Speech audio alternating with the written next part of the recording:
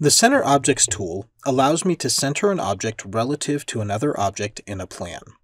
This can be centering a window in a room, a wall to another wall, or a piece of furniture between two windows. In this video, I'll explain how to use the Center Objects tool for easier design control in your plans going forward. To start, I first need to select the object I want to move or change position. In this case, I want to take this double door and move it along the wall to the exact center of this kitchen room. Once I've selected the door, down on the Edit toolbar will be the Center Objects button. This is the tool that will allow me to move the door to the exact center of the wall. Once I've clicked on it, I'm going to move my mouse onto the object I want to center the door on. Since I want this door to be centered relative to the room, I'm moving my mouse to the middle of that room. You'll notice as I do that a few things happen. First, different objects are highlighting as I move my mouse around on the plan. Notice once I get my mouse into the kitchen room, it highlights the room with our selection color. Secondly, you'll also notice a large dashed line appears as I'm moving my mouse around the plan. This dashed line is indicating where Chief is going to try and move the center of the selected object to. You always want that dashed line to be perpendicular to the object you're wanting to change position.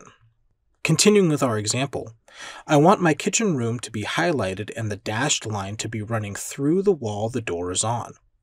Once I have everything set the way I want it, I'll simply click with my mouse and the door will move into the proper position exactly centered on the kitchen room.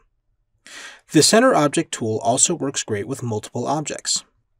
Staying in our kitchen room, I can group select all of these windows on this wall, and using the same process, I can center them all at the same time. I will hold down the Shift key and click on each window to group select all the windows. Then click on the Center Objects tool down on the bottom toolbar.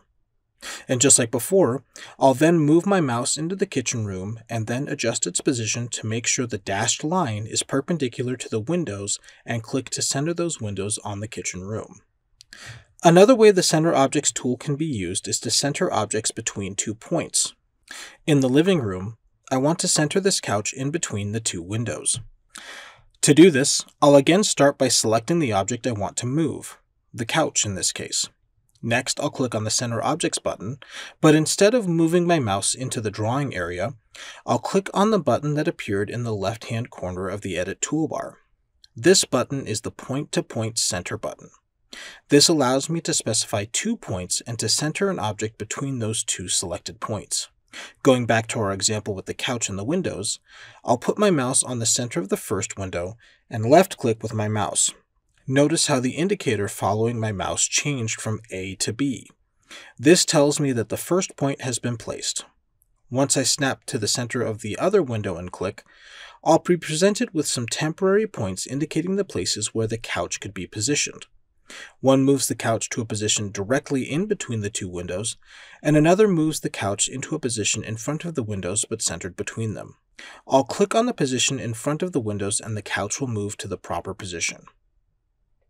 I can also make copies of existing items and then center them when I go to paste the item. In this view of the plan, I have one light fixture placed in the soffit over the sink, and I want to place one on either side of the sink that are perfectly centered on the windows. To do this, I'm going to select the light, click on the Copy Paste button on the Edit toolbar. Then, I'm going to click on the Center Objects button that appears in the Copy Paste submenu. And now this behaves just like the Center Objects tool did earlier. I'll move my mouse so the dashed line is going through the object I want to center the light on, in this case the window, and I'll click. Chief will then place a copy of the light exactly centered on that window. I can then repeat this process with a light on the other side. I'll click on the central light again, click on the Copy Paste button on the Edit toolbar, click on the Center Objects button, move my mouse to get the dashed line in the correct spot, then I'll click to place my copy of the light. You can also use point-to-point -point center to place copies of the selected object. It behaves the exact same way as I showed you earlier when I centered the couch between two windows. The Center Objects tool is an extremely powerful tool that's useful when you want to place an object in an exact location without having to use the dimensions to place them.